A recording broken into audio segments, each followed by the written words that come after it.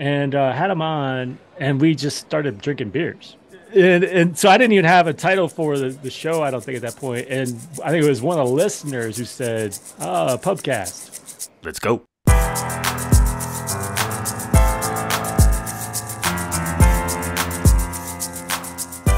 Hey, JR.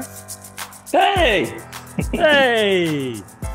So I don't even know how to jump into this, man. It's been a long time. So, um, John Robinson, JR, we're going to call him, mm-hmm. a backup CEO, business manager, family.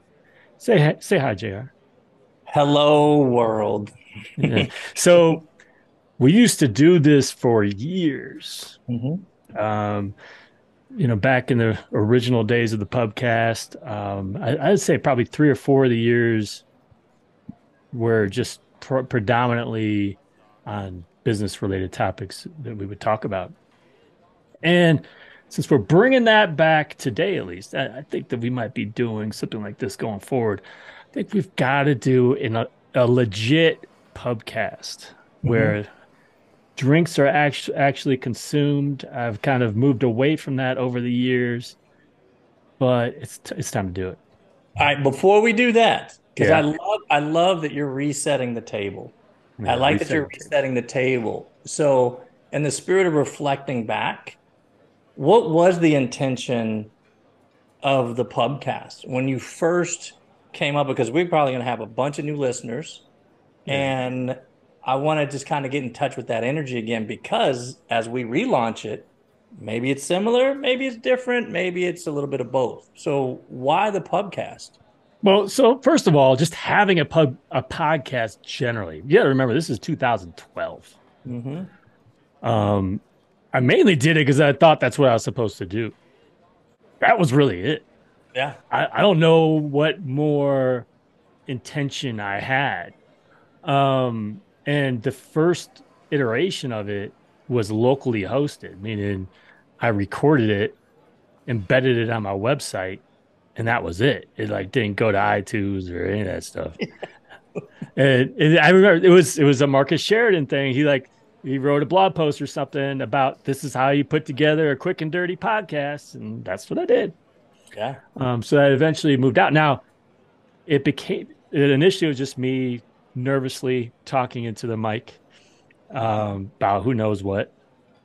And then I started having guests on, which is the thing primarily I need to get back to. Uh, we could talk about that a little bit later, but um, and I think it was my first guest, Mike Meg Sudi. Um, he, I don't know anyone because he's he's back in the corporate world these days, but he was one of those super young entrepreneurs, fresh out of college. He and his buddies started a company, uh, a, an app company, and was pretty amazing and uh, had him on, and we just started drinking beers, which. And, and so I didn't even have a title for the, the show, I don't think, at that point. And I think it was one of the listeners who said, "Oh, pubcast," and that's and that's where it went. But that format was was perfect for me, as you know. It's like I need something casual, mm-hmm. um, and that's kind of the whole point here. Is like let's talk about something that's you know business related, but make it as casual and conversational as possible. There's no more casual and conversational place than a pub. Yeah, yeah, I love that, and and you're right because as the time grew on, because I thought it was around talking about Facebook strategies and things first, and then it evolved into talking about everything entrepreneurial or everything business like. Yeah. Is that yeah. yeah, that's okay. Yeah, yeah. I thought it I thought it grew that way. And then you stepped away a little bit. Well, kinda. So it's like there was always a shift in this is this is the one of the hardest things I think it's a a solopreneur type person um, where you only have so much time and and so much uh, attention that you can give. So I use I will go in phases of having a lot of attention on the podcast. When that happens, it takes my attention away from something else. Um, so basically, the podcast has always been around. Um, there have been times where it's often a repurposing. So like I think I was using, you know, like web, repurposing webinars and stuff and putting them on the podcast or something. Uh, but I went from the long form interview style and then I actually started just doing some solo 20 to 30 minute episodes. I was doing that for a while. Mm-hmm. Um, and then moved to the, the shots. Um, yeah. And then really just only shots for the for the last year because I was, you know, focused on other stuff. And shots meaning a format that's not 30 minutes. Just means uh, I'm going to take a bunch of shots uh, when I talk. And so I'm not going to really know what I'm talking about. No, it's, yeah, it's like. Although that is a good idea. That's like drunk history. So we could, we could, we could get to that because that'd be kind of funny as you talking about entrepreneurship and Facebook marketing smashed. Yeah. But anyway, yeah, shot typically has been five to 10 minutes. Mm. Although lately, what I've been doing is taking, again, repurposing, taking my uh, short form videos, the ones that at least don't have any screen sharing or anything, and repurposing those into super short shots. Right, it's just a, a minute basically plus intro outro. Um, but yeah, the whole this is something actually I learned a little bit from because I also started doing my, my baseball podcast Mm-hmm. Um, and I did a lot of super short episodes there, and I got really comfortable with it. Um, and honestly, as a consumer, I think those are pretty valuable too. So I think there's a place for these short episodes. Yeah, I like that. So you, you did a good job setting the table. But but the table, the next thing on the table has to be the drink, though. Yeah. Okay. Hold on.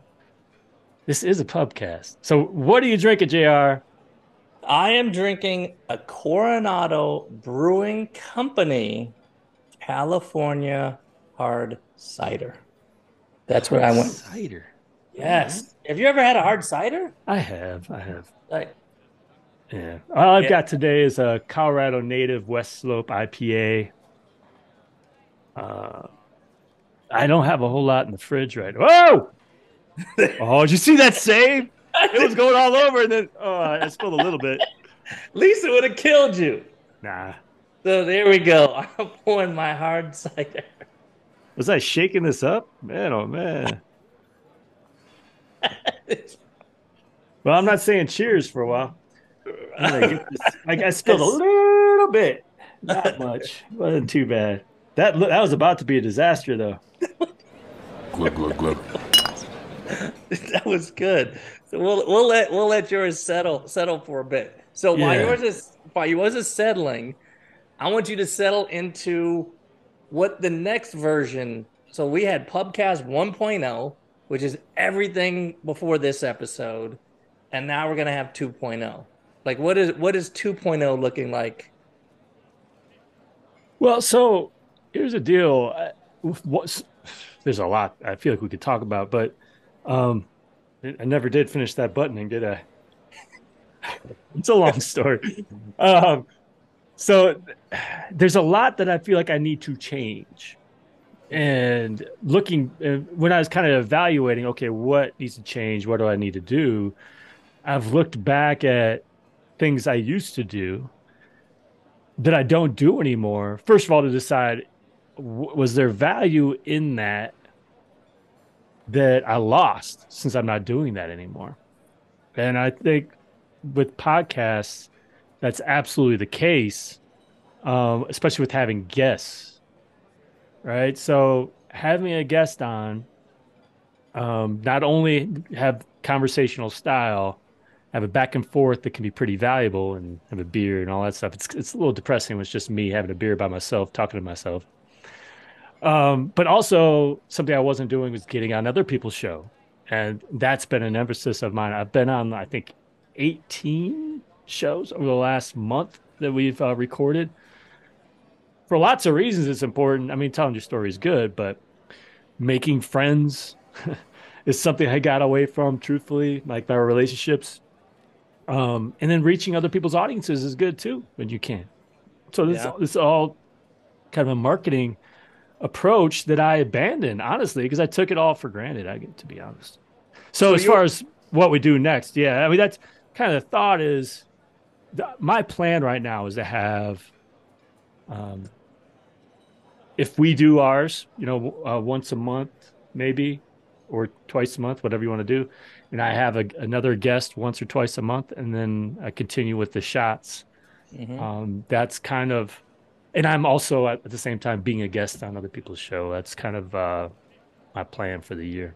Yeah, and and I want to kind of double back a little bit because your approach to podcasting, your approach to podcasts in general, you just described the shift. Like you're going to be more involved with being on other people's shows. You're going to be more involved and committed to publishing more. And then you're going to be more involved with adding guests to the the pubcast podcast. So there's a part of me that thinks about why did I stop doing that? I know that a lot of entrepreneurs what got them to where they are, there's this myth that it won't get them to where they're going. So sometimes they stop. And you stopped because, like you said, you only have so much attention. Right. and, and then a lot of attention in 2022 has been baseball. Oh yeah. And and and and baseball has been part of the Loomer household. What 13 it was years? 16. Well, 16 years I was coaching. Okay, 16. I thought 13. Okay. So 16 years of life. And then the, the entrepreneurship journey is tw- 11, 12? 11 years. This, this, is some interesting math that I was just doing today. Um, I have now spent as much time working for myself as I worked in an office. Yes, perfect. So there, there was some time where I worked for someone else from home, but yeah.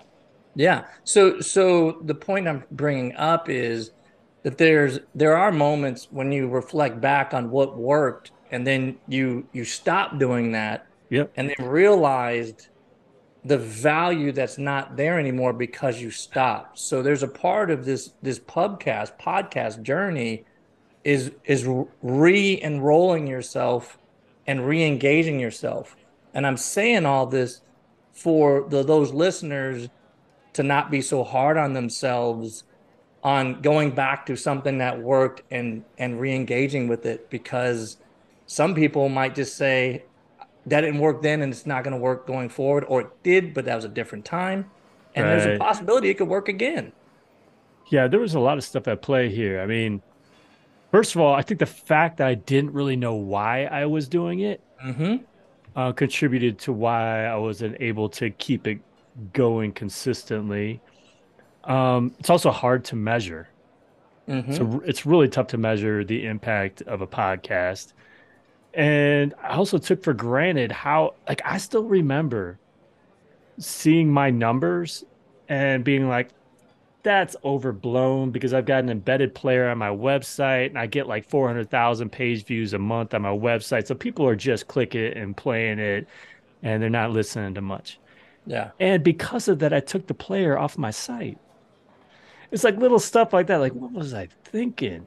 Right. Yeah. Um, but I've had, like, I saw the numbers the other day and I did a little video on this. It's, it's over 1.3 million downloads of the pubcast. Wow. T- totally took it for granted. I've taken yeah. it for granted. Um, yeah. And that, but again, I think it's because other than the downloads, I don't have much measurement and it's also because I didn't really know why I was doing it in the first place. But now realizing that yes, that was contributing uh, probably more than I knew. So you lead, you're leading me into a, a good place because you when you describe setting, the table, what are you doing? You're you didn't cheers. What's well, uh, you're talking. You? Wow. You're talking. It's been sitting here waiting. You're terrible. Can we cheers? Jeez, hey, I, I, I haven't been out of the house in 11 years. I don't know how to how to have friends and do stuff. Right, cheers. I'm spilling my stuff all over. Cheers. Cheers. Oh my god, spilled all over me. Okay, so reeling myself back in. When you first started talking about setting the table about why the podcast exists in the beginning, you did kind of not really have a very, very clear direction or reason why. 2.0 of podcast, what's the why now for 2023? I mean, I think it's a lot of the same reasons um, as I'm going into video. Mm-hmm. It's it's making this personal connection that you can't make with the written word. it's reaching people in the places that they consume content. So if they don't like reading content, if they don't even like watching videos, maybe, and they like podcasts, that's one more one more way to reach them. I also think that this angle is something I don't, I can't really address a lot of a lot of times on my website. Um, you know, talk doing entrepreneurship type stuff, right? So, um, I think that's that's the main why. But I, well, I that's great. Remember. What's no, that? No, no, that? That's phenomenal. That's phenomenal yeah. as as a source because as listeners, if you don't understand the source, the energy that you want to put into the world or get from it, it's really hard to commit to it. And you surprised me a little bit, and it's funny because I talk to you almost every day for the last 11 years, every business day for the last 11 years. Um, so for me to say something surprising, this means, wow, I have never heard you say this, which is this idea of, well, I want to meet people where they are. And I remember, and maybe I'm wrong with this, I remember that there was times where you're like, well, that's just not our customer. If they don't if they don't consume it here, then that's just not our customer. And maybe I'm a little off with that, but I kind of feel like that was one of the ways when we started losing members or this, that, and the other. It's like, well, you know what? Uh, we don't do transcripts. We right. have people want us to do transcripts, or and that's a bad example, but but my point along the way, of what I'm trying to make is sometimes we have constraining beliefs that we change because it sounds like you're more now of okay, I'm going to meet them where they're at. And I'll give you another example which I used to pressure you a lot around how do we serve other countries by switching the times that we do things, like the one-on-ones or the or whatever it is. And I find you doing that now of, hey, I'm going to meet them where they're at. Even though I think you just said you had a one-on-one that was three in the morning for for, for them, yeah. Yeah, so they're still gonna meet you yeah. where you are, but I think there's a, a really cool shift of you meeting them where they're at, or even a balance. They meet you where you are, and you meet them where they are, versus they just got to meet yeah. me where I am, and and that's okay. Yeah, there's a lot of layers to this. I mean, first of all, yeah, I think I was in a very good place where I could pick and choose where where I went, the method of doing things, whatever, because things were really good. I can kind of make the rules. Um, also, you know, I, I feel like I'm looking for the, the, the right word for this. My my three year English major uh, is been, been the alcohol is getting to you. no, it, but it's these days people are spread out. I think more than ever before. So like originally when I was all in on my blog and Google was sending me a ton of traffic and just generally, it, that that's pretty normal way to consume content for a marketer was via a blog. Um, it made sense. Like, no, I'm not going to spread myself out too thin and do a whole bunch of videos and you know create all this different type of format, all, whatever. Um, go on all these other platforms I don't feel comfortable with, like my web, my website, my blog, my email list, Facebook those are working for me. I don't need to do anything else. And I didn't, honestly, at the time. And now it's a matter of, um, first of all, everybody spread out, um, but also I need to I need to reach them. I mean, as I've found, there are people who want to consume my stuff. They just want to consume it in a different way, and I am now reaching them. Um, and I felt like I abandoned them for a few years. There. Bottoms up. I want to I want to touch on that a little bit because there's an energy of desperation, and and you didn't say this, so this is just me kind of reflecting. It probably back. is. Yeah. Probably okay. Is. All right. Perfect. Perfect. So so so there's an energy of desperation which which has put you in the position to try new things, to let go of some of the beliefs that you had and change some of the rules that you have for yourself because I will put this out here, and I've told you this before. This entire Jon Loomer team begged Jon to do videos for a long time, and and and you were were just not you didn't know what to say, you didn't know what to do, you don't feel comfortable in front of a camera. And you gave so much resistance to it until you got into a state of despair. And now you look comfortable. Like I'm watching some of these videos. I can't help not watching because the algorithm won't stop putting you in my ah, face. Awesome. So I, I got to figure out how to tune you out. But yeah. but every time I, I I open TikTok or Instagram, I've got my cousin in my face, which okay, but you look comfortable. So how did you how did you get comfortable with something that you had so much resistance to? Well, again, I think it's important. It's not just that I resisted it and I was stubborn, and I'm sure I was stubborn. That's part of it. It's just a matter of time as well. Yeah, like, that's I agree with that. So, I, and I'm going to cut mm-hmm. you off on this because w- the way that you approach time and your effort into that is different. So for me, I see, oh, just do a TikTok and recording it's four minutes and just do that every day and it's a top of seven minutes in your day and and that's it.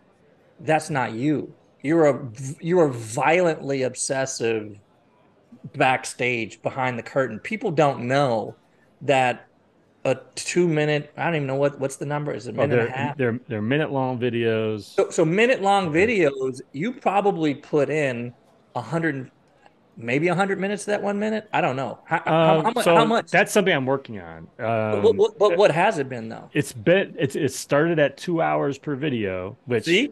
For one Keep in minute. Mind, when I when I was doing three three videos a day and it was taking two hours per video, six hours a day, that, that was a lot. It's now. I, I mean, I'm not timing it, but it's generally it's got to be about an hour now, right per, per so, minute but, video. But, but again, look at that.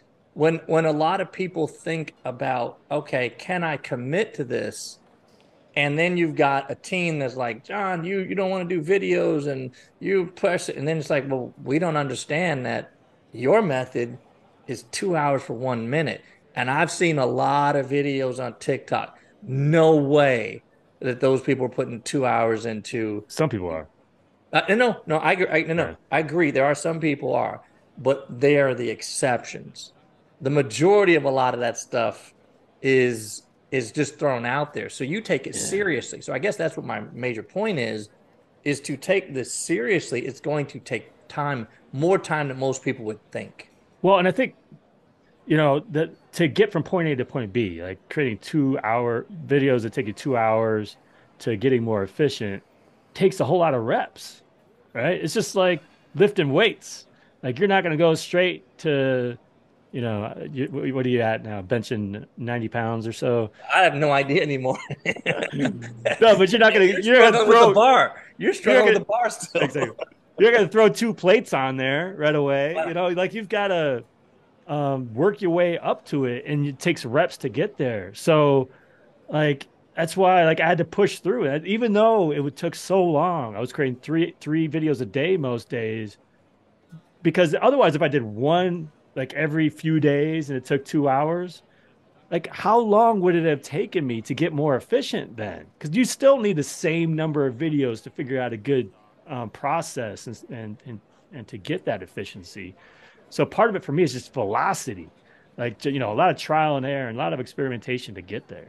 So so you you bring up a good point of learning curve.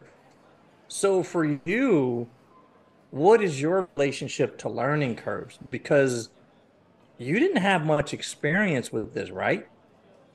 Oh, zero. Right. I had no idea what I was doing when I got into it.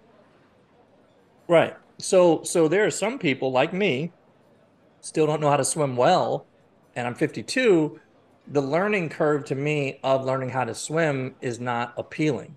And then I took a you know a a, uh, a 2-hour coaching session and now I know exactly what commitment is to getting better at swimming, but I had no idea.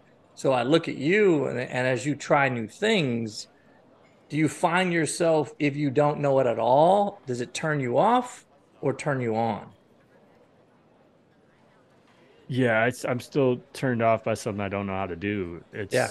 it's real it's it's a huge obstacle Um,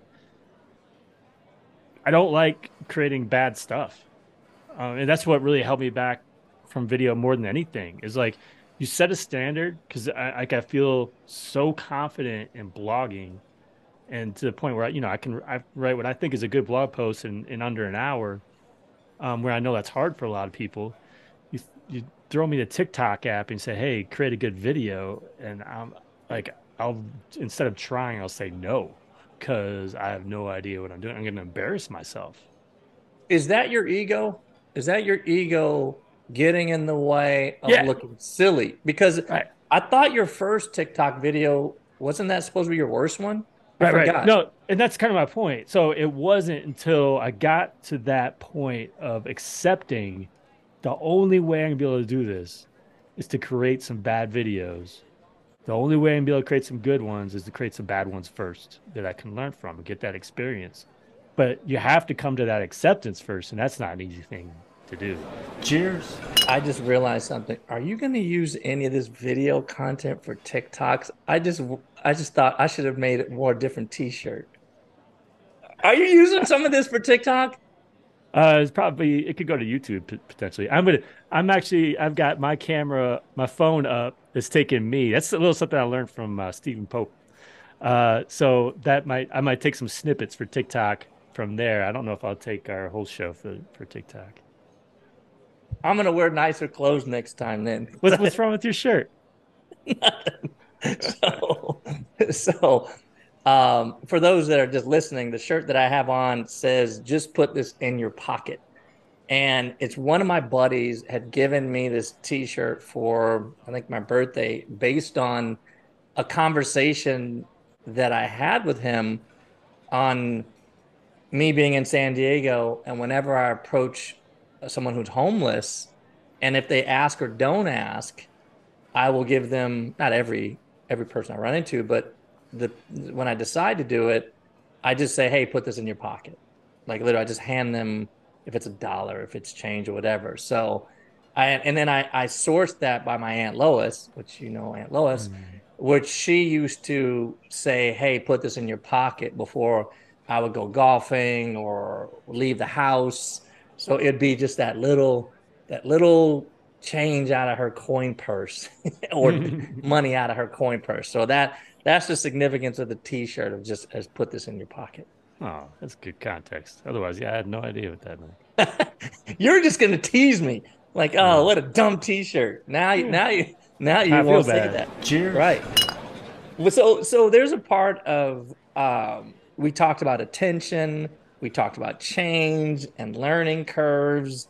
I love the what was I thinking. Uh, I love the the why did I stop doing that there's that last part of like, okay, how have you kept yourself motivated and encouraged when you already described that you're in a little bit of state of despair, meaning that you're you're you're chasing that despair. How are you how are you staying uplifted during this little this little season of despair, I'll call it.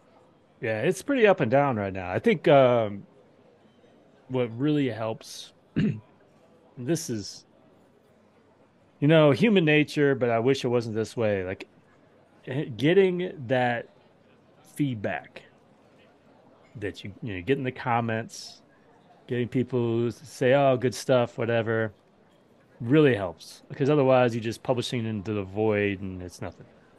But the other thing is like the number of people who told me that they like booked a one-on-one or signed up for phc or whatever because of the videos keeps me motivated. Um, because otherwise, you know, I know there's going to come a point like I can't keep this velocity going where also like ideas, I'm going to run out of ideas. Like it's going to become harder and harder.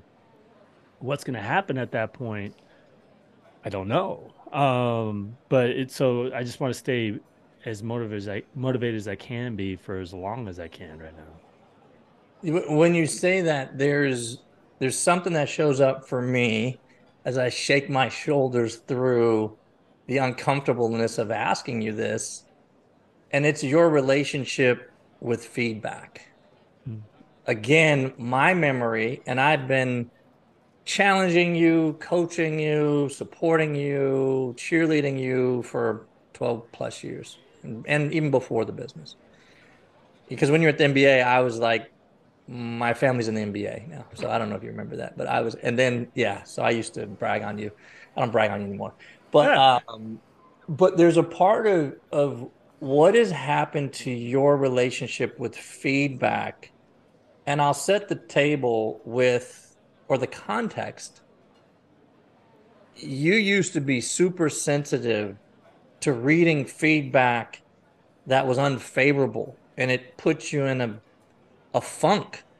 And it sounds like now you are more secure with feedback versus being anxious. Is that true?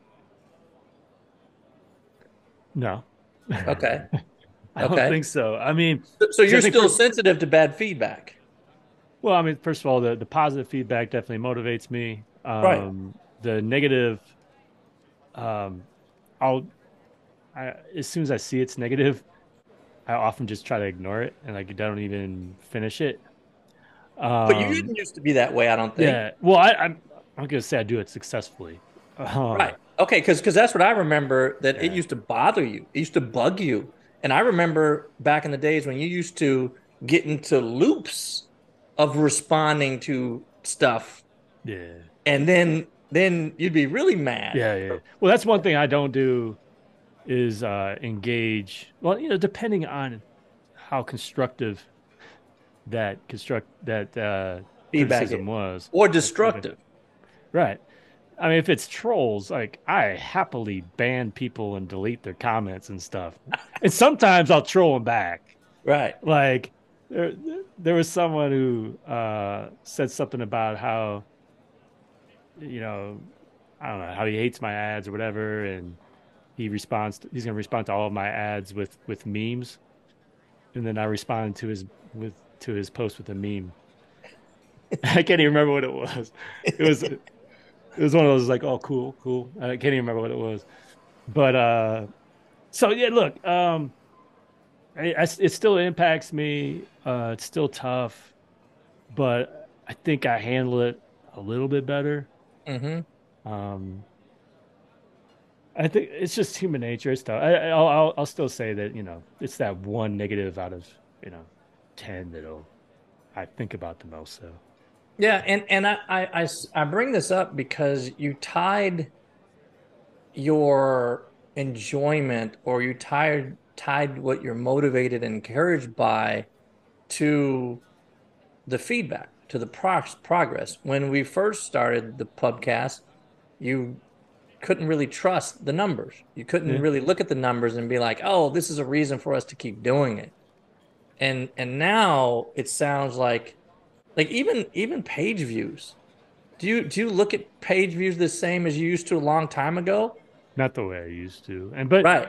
there's a lot of stuff I don't pay as much attention to these days because it's kind of depressing. Right. Like, so that's wait, wait. So there's that's my point about yeah. feedback. So what yeah. you're choosing to be encouraged by or not. So so what are the depressing ones? Well, and to be honest, is like if I tell other people like what my traffic was, they'd say, "Quit feeling sorry for yourself," because it's I'm still getting, you know, eighty thousand to hundred thousand page views a month, whatever.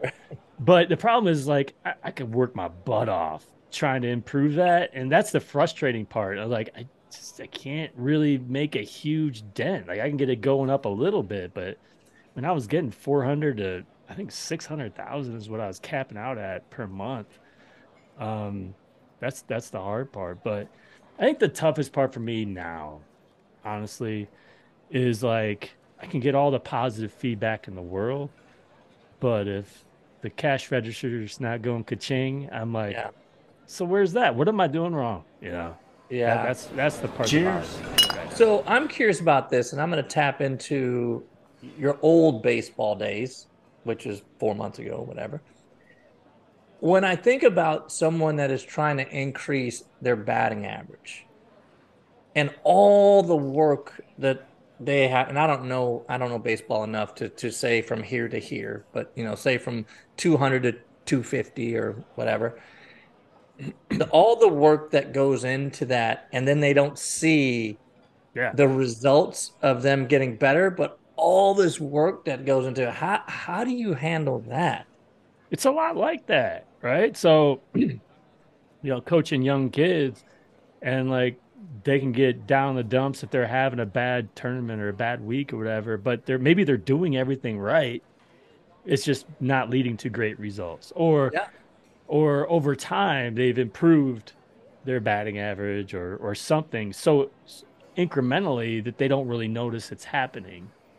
Um, and they may, you know, not take pride in that. The way it's business is the same way. It's like you want to see those big numbers jump out at you to say this is why you've been putting in all that work but it's not always that obvious you've got to track it over time compare point a to point b it might be over a year or over two years and be like oh wow that's right i forgot it was like that you know? And that that's that's the difficult part of being at this stage uh, in the business is like we already had the highs. Mm-hmm. so so what am i comparing to? You know now it's it's more of a matter of okay at the at the lowest of lows um you know what what's the progress we're making?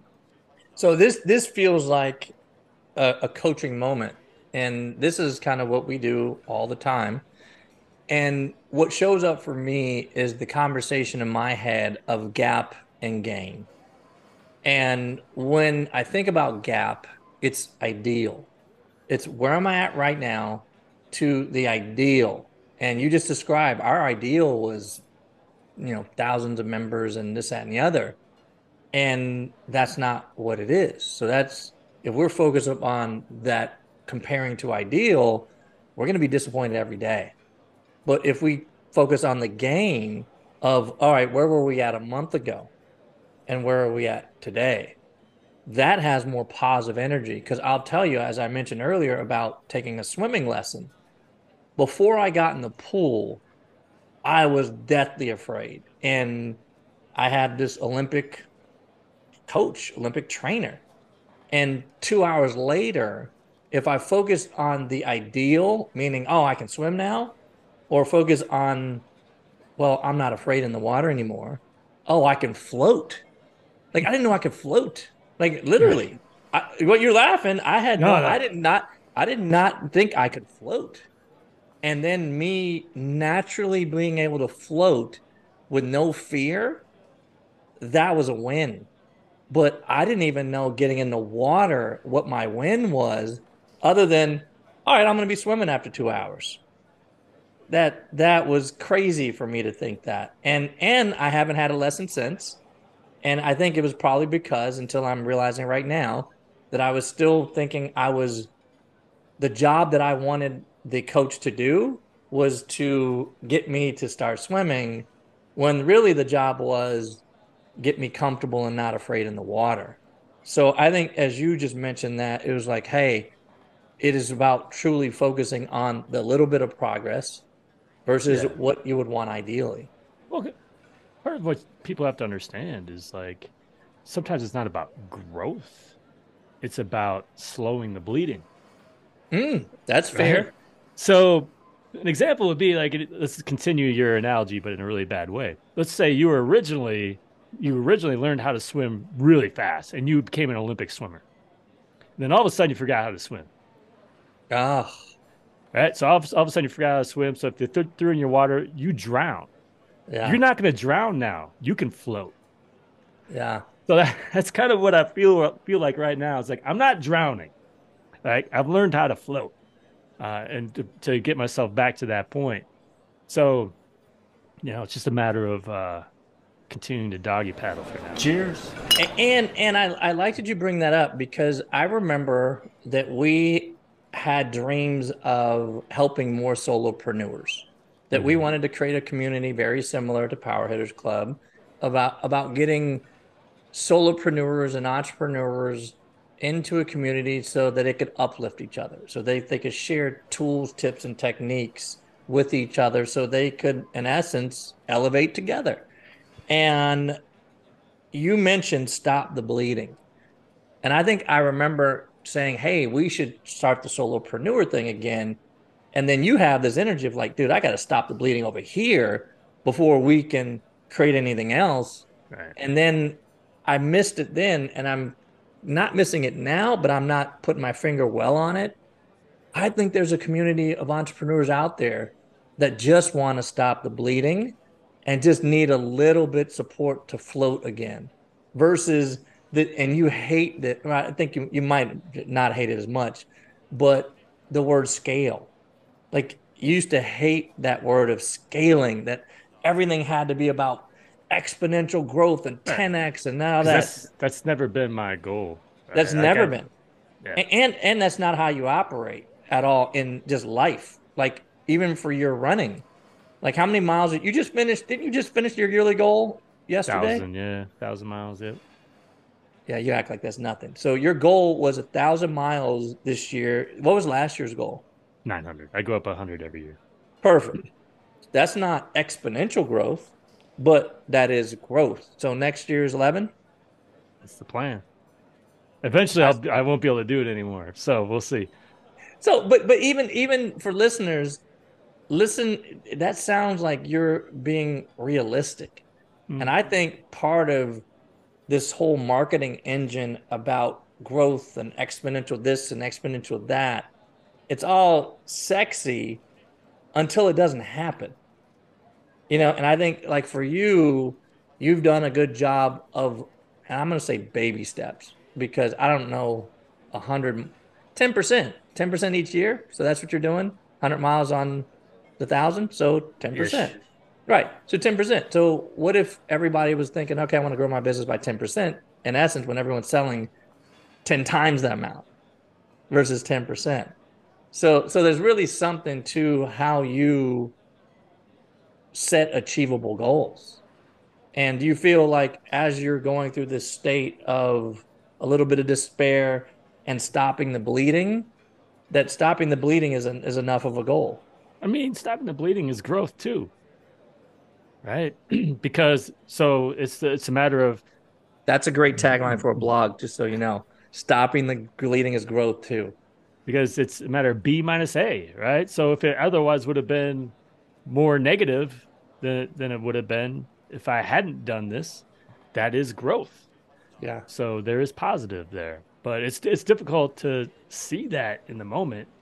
And like when the numbers come out, and you're like, oh, it's either you know same as last month. Uh, like, well, yeah, but it would have been X if if we kept going on the path we were. Now, tell me about B versus B minus A. I've never heard that before. Oh, it just came out of my mouth. That was just basically math, right? So, um, you know, what was it last month? What you know, what is it this right. month? And yeah, that that's where we are. You know, so so math wise, it doesn't look like it's a big deal, but where could right. it have been, basically? Yeah. Dude, I I love that. I love that because I think there isn't having a break even month is not celebrated in many places. It just isn't. Or having the same month as a month before isn't celebrated. And over the last two years with COVID and business performance in general, it's more a win now yeah. to have month over month consistency than it was at any other time because because it's volatile right now. It's going to continue to be volatile in small business, medium sized business, and large business. Yeah, I mean, there was a time where I could just coast, not do anything different, and we get we get we get growth, you know, get great results, whatever. Yeah. And now I, you know, I realize I've got to bust my butt, try new things, do do stuff I've never done before to maintain and but realizing if I didn't do that, I mean, I might be nearing the end. Who knows? Yeah. I get that. Are we finishing that beer? All right. We're gonna finish it, and you're gonna get the check, right? Yeah, you got it. Here we go. It's official. All right. Did you finish it? It's all gone. All gone. That's the okay. sound of an empty can. Maybe next time we do two. All right. All right. So, uh, yeah, thanks for joining me again, Jr. First time in a long time. Yep. But tell people how you can help them because help them the way you've helped me over the years? Oh man, I wake up each day wanting to help entrepreneurs that are trying to make the experiences better, trying to make more of an impact in the world. So I love coaching and challenging and guiding. And if you're just starting, I volunteer my time too. And if you're just trying to get to the next level of business, I charge what's fair. So you can reach me at Backup CEO anywhere on Twitter, Instagram, Facebook, you name it. So Backup CEO. Or John J O H N at backupceo. Yes, that's it too. he spells it wrong. No, you. All right. So how often are we gonna do this? I'd love to do it every other week at a minimum. That because because I still I'm gonna put it out there intentionally. I would love for this pubcast, this moment of talking about small business and entrepreneurship and just personal leadership. I so want to create another community. I really do. At some point, is I, I I really want us to create a community for those that attach to this content and want to surround themselves with other people who care about, you know, just enjoying entrepreneurship. And and those two words didn't come easily off of my tongue because there's not a lot of people talking about enjoying entrepreneurship. They talk about the struggles of it. And I think you can get to the state of enjoying entrepreneurship. Sounds good. Yeah, I think this is a, good outlet. Um, I know. Look, I, I, received an email from somebody today uh, saying that they needed. That's one of the things they're looking for is more help with more help, more support, whatever, um, as they start a business. And while I don't think I can really do that uh, as a product right now, I think this is a good way to do it. So keep listening, y'all. All right, thanks, Jr. I, am gonna like I have to completely re-envision how we're doing the pubcast, the closing, the opening, and everything. We'll, we'll see how it would go, but uh, I guess I wrap it up as we always did. Until next time, do awesome things. I'm out.